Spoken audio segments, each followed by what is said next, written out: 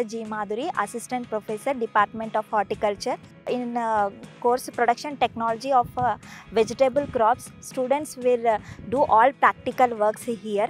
They will uh, uh, grow all types of uh, vegetables. Students will learn the cultivation practices and learn practical experience by cultivating all these crops and uh, uh, here we have developed the year round calendar for growing of vegetables. So that uh, uh, we can get the different types of vegetables in daily needs for, uh, throughout the year and not only these vegetables in this kitchen garden we have developed different uh, fruit uh, plants also. And uh, uh, like uh, dragon fruit also we have we are growing here. And excellent varieties like pkm one uh, drumstick and curry leaf like suhasini and papaya red lady variety. And students mainly benefit from this kitchen garden plot by growing vegetables and knowing the importance of the nutrition in their daily life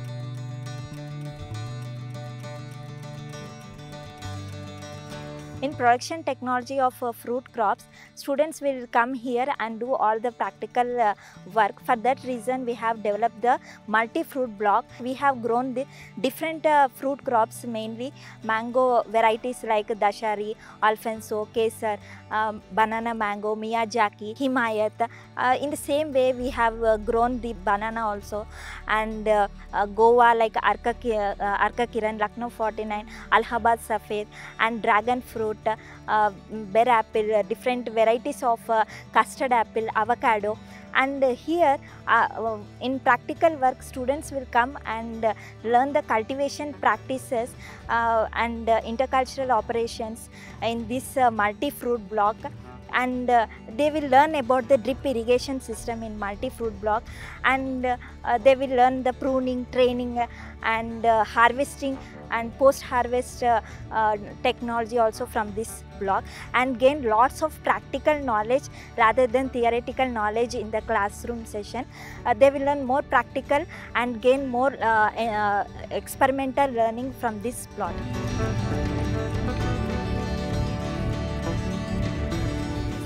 shade net house area of 576 meters square. Uh, here uh, students will come and uh, learn about the protected cultivation of different vegetable crops. Starting from raising of nursery uh, of different vegetables crops like tomato brinjal chili.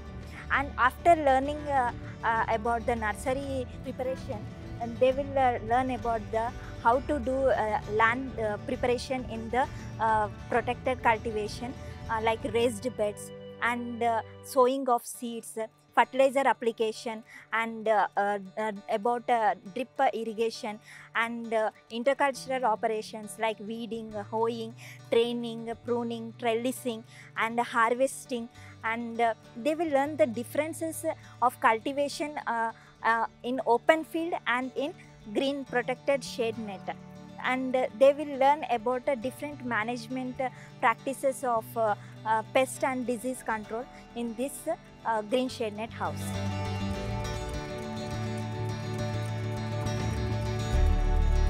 This is poly house, area of 92 meters square and uh, it is erected with the fan and pad cooling system, fogging system, humidifiers. And with the help of all this system we can artificially maintain the uh, microclimate as required for the crops. And uh, we can grow the vegetable crops throughout the year. And uh, uh, student can get more practical knowledge in uh, learning about the protected cultivation of uh, vegetable crops. Here you can see the cucumber plants uh, growing in the grow bags.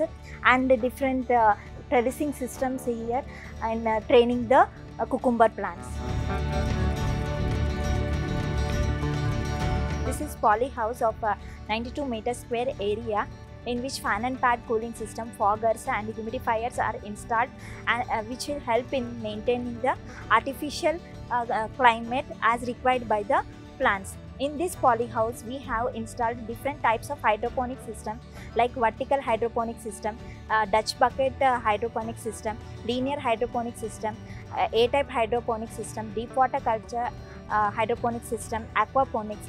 And uh, the main uh, principle of growing of a hydroponic system is instead of a soil we are using here soilless media and uh, nutrient solution are, is used for cultivation of uh, different vegetable crops.